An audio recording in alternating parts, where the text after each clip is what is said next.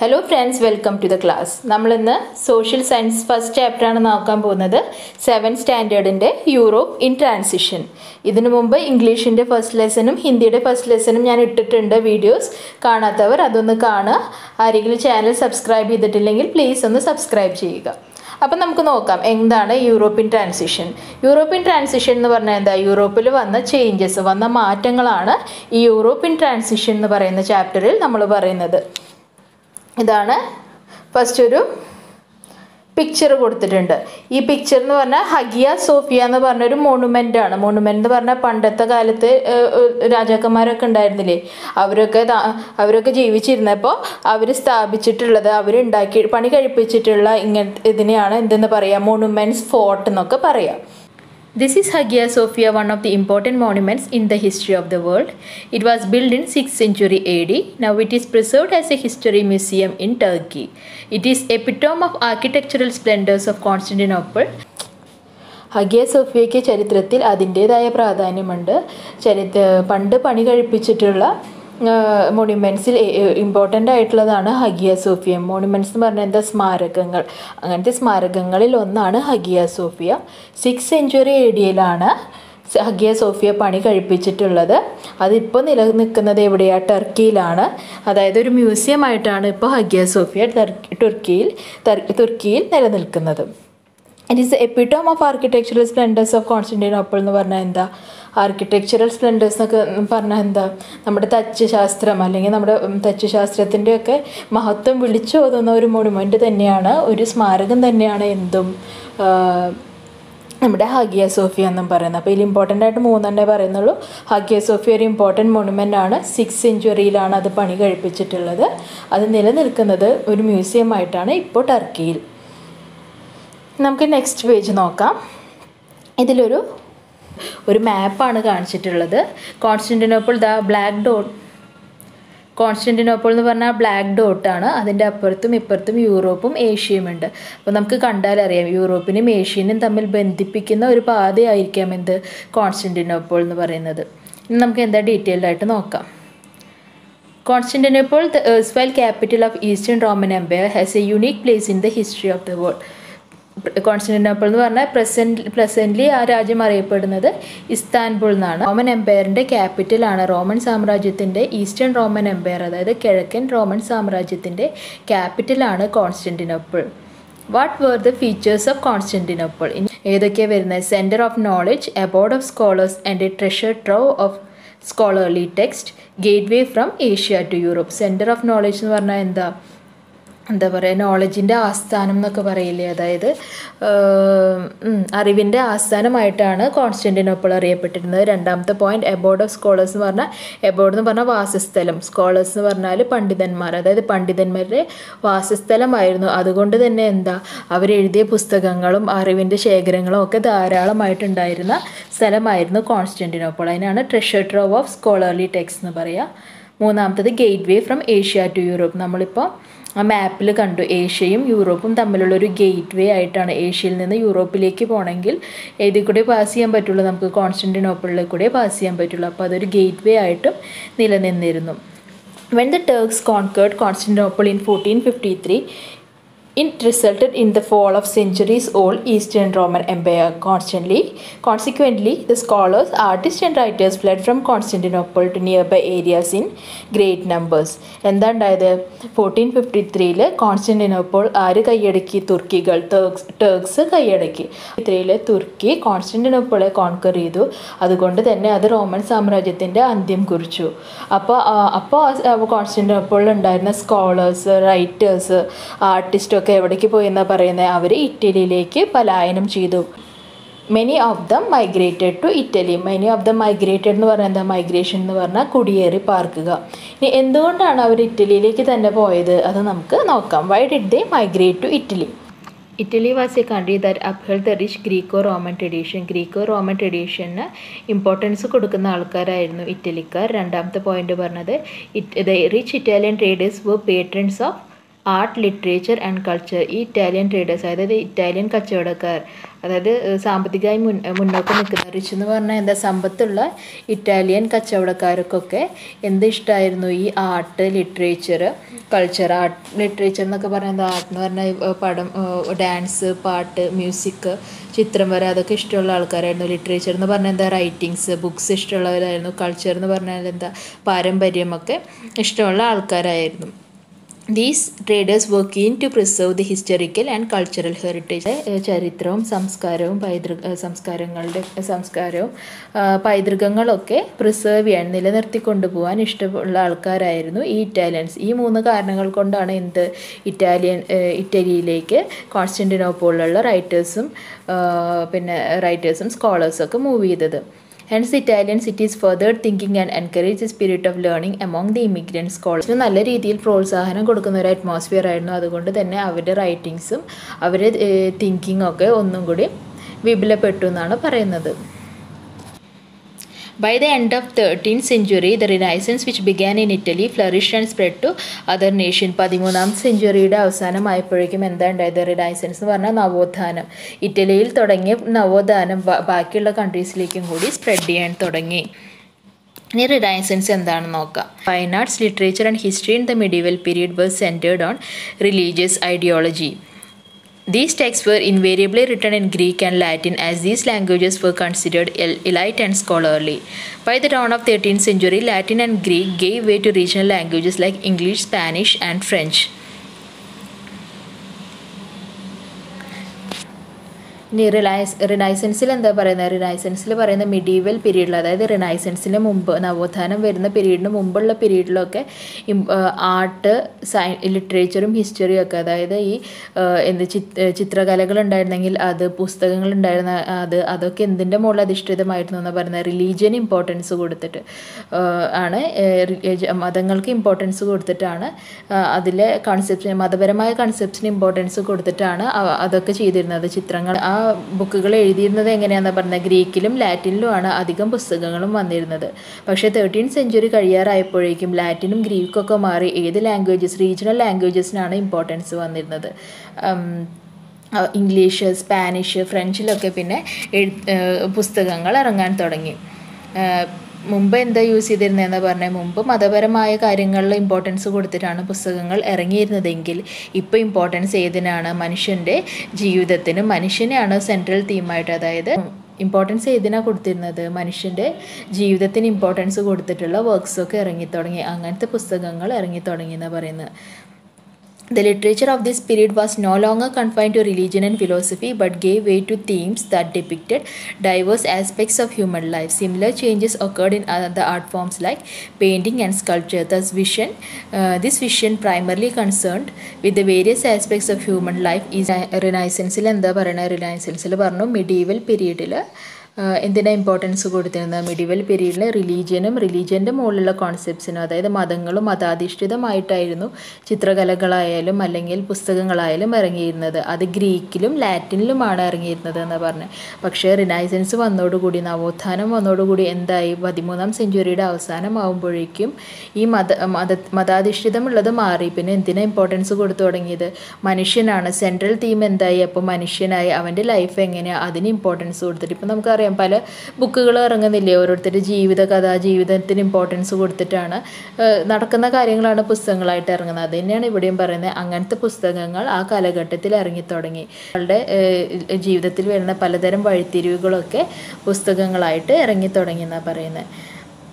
അപ്പോൾ ഇതിന് ഇത് എഴുത്തിൽ മാത്രമല്ല അതായത് ലിറ്ററേച്ചറിൽ മാത്രമല്ല ഈ വ്യത്യാസങ്ങൾ കണ്ടു തുടങ്ങിയത്. പെയിന്റിങ്ങിലായാലും സ്കൾപ്ചറിലായാലും സ്കൾപ്ചർ എന്ന് പറഞ്ഞാൽ എന്താ ഈ കൊത്തുപണി എന്ന് പറയില്ല അതിനാണ് സ്കൾപ്ചർ എന്ന് പറയുക this vision primarily concern with various aspects of human life is known as humanism the new spirit of humanism inspired unique thoughts on the universe and human life humanism എന്തിന് ഇമ്പോർട്ടൻസ് കൊടുത്തു യൂണിവേഴ്സിനും human ലൈഫിനെയും കുറിച്ചുള്ള ചിന്തകൾക്കൊക്കെ importance കൊടുത്തു. Subsequently new awakening in all spheres of human life became visible in Europe and it is known as renaissance. അതായത് എന്താ പറയുന്നത് ഇങ്ങനെ ഹ്യൂമൻ ആസ്പെക്ട്സിന് ഇമ്പോർട്ടൻസ് കൊടുത്തിട്ട് പല രീതിയിലും പല ഏരിയാസിലും ഡെവലപ്മെന്റ്സ് ഉണ്ടായി.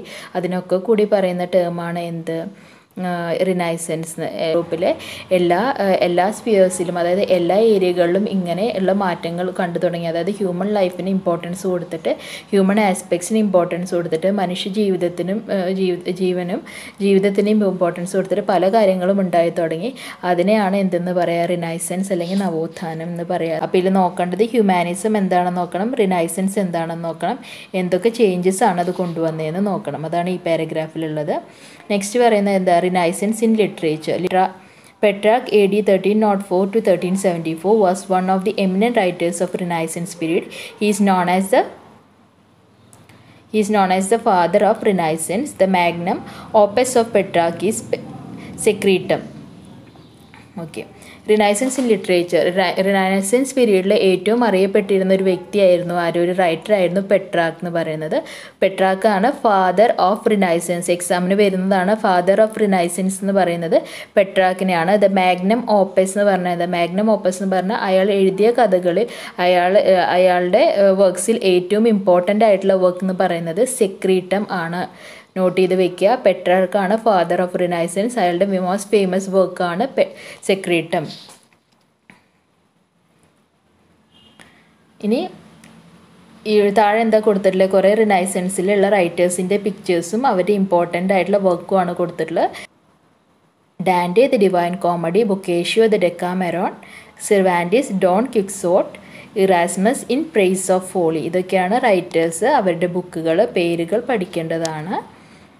ജസ്റ്റ് അത് ഫില്ല് ചെയ്യാൻ വേണ്ടിയിട്ട് കൊടുത്തിട്ടുള്ള കോളമാണ് ഇനിയിപ്പോൾ ലിറ്ററേച്ചറിന്റെ കാര്യം പറഞ്ഞു. ഇനി ആർട്സിന്റെ കാര്യമാണ് പറയുന്നത്. Renaissance in art art the renaissance period was most pronounced in painting പെയിന്റിങ്ങിനും അതിന്റേതായ ഇമ്പോർട്ടൻസ് ഉണ്ട്.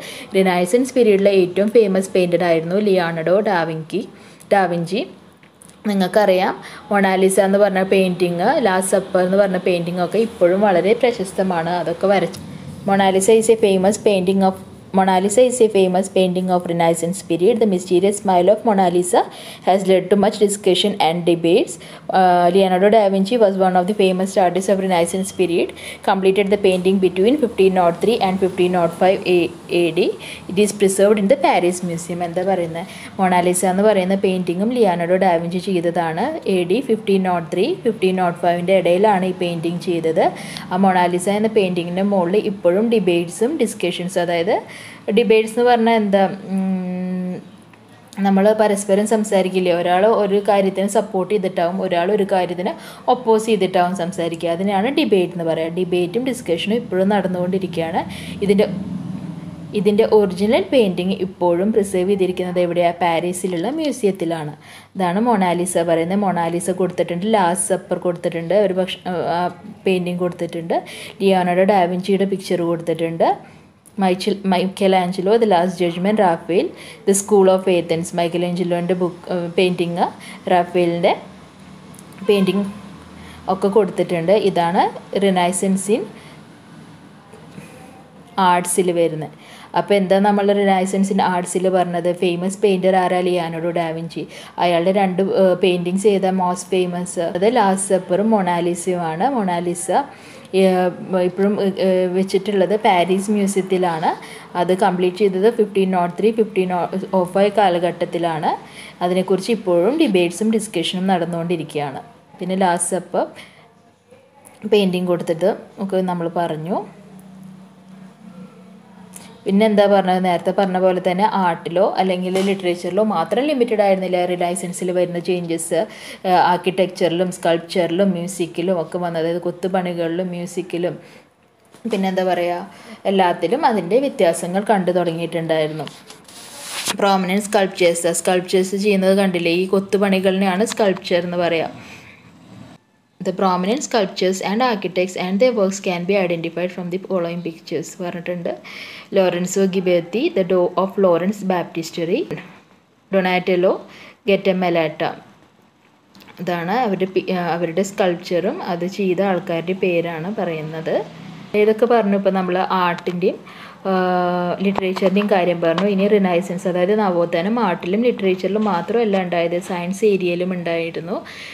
എന്താ പറയുന്നത് റിനൈൻസ് റിനൈസൻസിന് മുമ്പ് വരെ എല്ലാവരും ജീവിച്ചിരുന്ന എല്ലാവരും ബിലീവ് ചെയ്തിരുന്നത് എന്താ? സൂര്യൻ. അതായത് ഭൂമിക്ക് ചുറ്റുമാണ് സൂര്യൻ വലം വെക്കുന്നതെന്നാണ് എല്ലാവരും അതുവരെ റിനൈസൻസ് പീരീഡ് വരെ ബിലീവ് ചെയ്തിരുന്നത് വിശ്വസിച്ച് പോന്നിരുന്നത്.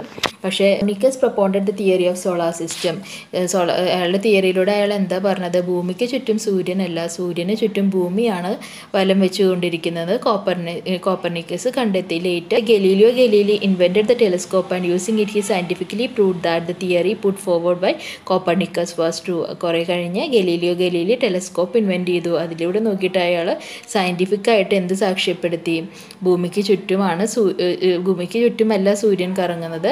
സൂര്യന് ചുറ്റുമാണ് ഭൂമി വലം വയ്ക്കുന്നതെന്ന് അയാൾ കണ്ടെത്തി. It became easier to propagate the renaissance ideas widely among the masses with the invention of printing press by Gutenberg എന്താ ഉണ്ടായത് ഇതൊക്കെ കണ്ടെത്തിയത് ആൾക്കാരിലേക്ക് വൈഡ്ലി ആൾക്കാരിലേക്ക് അധികമായി എത്തിക്കാൻ വേണ്ടി ഏത് സഹായിച്ചു? പ്രിന്റിംഗ് പ്രസ് കണ്ട് കണ്ടുപിടുത്തം സഹായിച്ചു. പ്രിന്റിംഗ് പ്രസ് കണ്ടുപിടിച്ചത് ഗുട്ടൻബർഗ് ആണ്. അപ്പോൾ ഇതാണ് റിനൈസൻസ് ഇൻ സയൻസിൽ പറയണത് എന്താ പറഞ്ഞത്? റിനൈസൻസ് പീരീഡിന് മുമ്പ് വരെ സൂര്യന്റെ സൂര്യൻ ഭൂമിക്ക് ചുറ്റും വലം വയ്ക്കുന്നു എന്നാണ് വിശ്വസിച്ച് പോകുന്നത്. പക്ഷേ റിനൈസൻസ് പീരീഡിൽ കോപ്പർ നിക്കൽസ് എന്ത് കണ്ടുപിടിച്ചു. സൂര്യനാണ് സൂര്യന് ചുറ്റുമാണ് ഭൂമി വലം വയ്ക്കുന്നത് എന്ന് കണ്ടുപിടിച്ചു. Late Galileo Galilei telescope invent ചെയ്തപ്പോൾ ഇത് സയന്റിഫിക് ആയിട്ട് പ്രൂവ് ചെയ്തു. ഇതൊക്കെ എല്ലാവരും എടുത്തു എത്തിക്കാൻ വേണ്ടി ഏത് ഹെൽപ്പ് ചെയ്തു? ഗുട്ടൻബർഗ് കണ്ടുപിടിച്ച പ്രിന്റിംഗ് പ്രസ് ഹെൽപ്പ് ചെയ്തു. എന്നാണ് പറയുന്നത്. ഒരു കഥ പോലെയാണ് ഇത് പഠിക്കേണ്ടത്. അങ്ങനെ അതേ ഫ്ലോയിൽ അങ്ങോട്ട് പഠിച്ചാൽ മതി. ഓക്കെ ഗലീലിയോന്റെ ടെലിസ്കോപ്പ് കാണിച്ചിട്ടുണ്ട് ഗുട്ടൻബർഗിനെ കാണിച്ചിട്ടുണ്ട് അവരുടെ പ്രിന്റിംഗ് പ്രസ് കാണിച്ചിട്ടുണ്ട്. ഇനി പ്രിന്റിംഗ് പ്രസ്സിന്റെ വർക്കിംഗ് എങ്ങനെയായിരുന്നു? സ്റ്റോറി ഓഫ് പ്രിന്റിംഗ് എങ്ങനെയാണെന്ന് കൊടുത്തിട്ടുണ്ട് നിങ്ങൾക്ക് അറിയാൻ വേണ്ടിയിട്ട്. ജസ്റ്റ് ഒന്ന് വായിക്കാം. The printing press was invented by German blacksmith Johannes Gutenberg in fourteen thirty nine it was made of replaceable wooden alphabet എന്താ യൂസ് ചെയ്തിരുന്നത് വുഡൻ മരം കൊണ്ടുള്ള ആൽഫബറ്റ്സ് ലെറ്റേഴ്സ് ആണ് യൂസ് ചെയ്തിരുന്നത്. Invention of printing created a new reading culture this resulted in revolutionary changes in diffusion of knowledge gradually the technology spread to other continents ഇതിൽ ഇത്രേ വായിക്കാനുള്ളൂ. ഗുട്ടൻബർഗാണ് കണ്ടുപിടിച്ചത്. ഫോർട്ടീൻ തേർട്ടി നയനിൽ റീപ്ലേസബിൾ വുഡൻ ആൽഫബറ്റ്സ് അതായത് മരത്ത് മരം കൊണ്ടുള്ള ആൽഫബറ്റ്സ് ആണ് യൂസ് ചെയ്തിരുന്നത്. ഓക്കെ പറയുന്നത് റിഫോർമേഷൻ ആണ്. റിഫോർമേഷൻ എന്ന് പറഞ്ഞത് മാറ്റൂലി മാറ്റങ്ങൾ എന്നൊക്കെ പറയില്ലേ? റിനൈസൻസ് റിനൈസൻസ് എന്ത് മാറ്റി എന്ന് പറഞ്ഞത്? റിലീജിയസ് ആസ്പെക്ട്സ് മാറ്റി മനുഷ്യന് ഇമ്പോർട്ടൻസ് കൊടുത്തു എന്ന് പറഞ്ഞത്. ഇനി അവിടെ നിന്ന് വന്നുള്ള അതും കഴിഞ്ഞിട്ടുള്ള മാറ്റങ്ങളാണ് ഡെവലപ്മെന്റ്സ് ആണ് ഇതിൽ പറയുന്നത് റിഫോർമേഷനിൽ പറയുന്നത്. Refinement underwent by European Christianity in the sixteen century is known as reformation refinement എന്ന് പറഞ്ഞാൽ എന്താ? എന്തെങ്കിലുമൊക്കെ മാറ്റങ്ങൾ വരുത്തുക. അപ്പോൾ യൂറോപ്യൻ ക്രിസ്ത്യാനിറ്റി സിക്സ്റ്റീൻ സെഞ്ചുറിയിൽ കൊണ്ടുവന്ന മാറ്റങ്ങൾ. അവർ ഫോളോ ചെയ്തു വന്ന മെത്തേഡ്സ് ആവാം. പു- പുസ്തകങ്ങളിലുള്ളതാവാം. അപ്പോൾ അതിൽ വരുന്ന അതിൽ വരുത്തിയ മാറ്റങ്ങളെയാണ് എന്തെന്ന് പറയുന്നത്? റിഫോർമേഷൻ എന്ന് പറയാം. Martin Luther led this movement which began in Germany ജർമ്മനിയിൽ തുടങ്ങിയത് ഈ മൂവ്മെന്റ് ലെഡ് ചെയ്തിരുന്നത് മാർട്ടിൻ ലൂതർ ആയിരുന്നു. In search of sea routes നമ്മൾ പറഞ്ഞു എന്ത് ടേക്സ് കോൺസ്റ്റന്റിനോപ്പിൾ കോൺക്കർ ചെയ്തു. നേരത്തെ നമ്മൾ ആ മാപ്പിൽ കണ്ടതാണ് കോൺസ്റ്റന്റിനോപ്പിൾ ഏഷ്യയും ഏഷ്യയും യൂറോപ്പും തമ്മിലൊരു ഗേറ്റ് വേ ആണെന്നൊക്കെ പറഞ്ഞു. കോൺസ്റ്റന്റിനോപ്പോൾ തുർക്കികൾ കോൺക്വർ ചെയ്തപ്പോൾ പിടിച്ചടക്കിയപ്പോൾ അവർക്ക് ഒരു ഗേറ്റ് വേ ഇല്ലാണ്ടായത്. അവർക്ക് അങ്ങോട്ടും ഇങ്ങോട്ടും മൂവ് ചെയ്യാൻ പറ്റാണ്ടായപ്പോൾ അങ്ങനത്തെ കേസിൽ എന്തുണ്ടായി? പുതിയ വഴികൾ കണ്ടുപിടിച്ചു. ഒരു വഴി മാത്രമല്ല വേറെയും പല വഴി ഉണ്ടാവാം എന്ന് അവർക്ക് ഉറപ്പായിട്ട് അവർ പുതിയ വഴികൾ കണ്ടുപിടിച്ചു. In search of sea routes പുതിയ സീ റൂട്ട്സ് അതായത് പുതിയ ജലപാതകൾ കണ്ടുപിടിക്കാൻ അവർ തുടങ്ങിയത്. It necessitated the European traders to discover new sea routes to Asia ഏഷ്യയിലേക്ക് അവർ പുതിയ സീ റൂട്ട്സ് കണ്ടുപിടിച്ചു. The invention of the compass and the spirit of adventure uncovered unknown routes oceans and continents എന്താ പറയുക കോമ്പസ് എന്ന് പറഞ്ഞാൽ അറിയാം. നമുക്ക് നോർത്തിലേക്ക് direction കാണിക്കണത്. ഈ കടലിൽ കൂടെ പോകുന്ന ആൾക്കാരുടെ കയ്യിലൊക്കെ ഡയറക്ഷൻ അറിയാൻ വേണ്ടിയിട്ടുള്ള കോമ്പസ് ഉണ്ടാവും. അതുപോലെ സ്പിരിറ്റ് ഓഫ് അഡ്വഞ്ചർ അതായത് അഡ്വഞ്ചർ ഇഷ്ടപ്പെടുന്ന ആൾക്കാർ സാഹസികത ഇഷ്ടപ്പെടുന്ന ആൾക്കാരും ഉണ്ടായതോടുകൂടി എന്തുണ്ടായി? പുതിയ പുതിയ സീ റൂട്ട്സും അവർ കണ്ടുപിടിക്കാൻ തുടങ്ങി.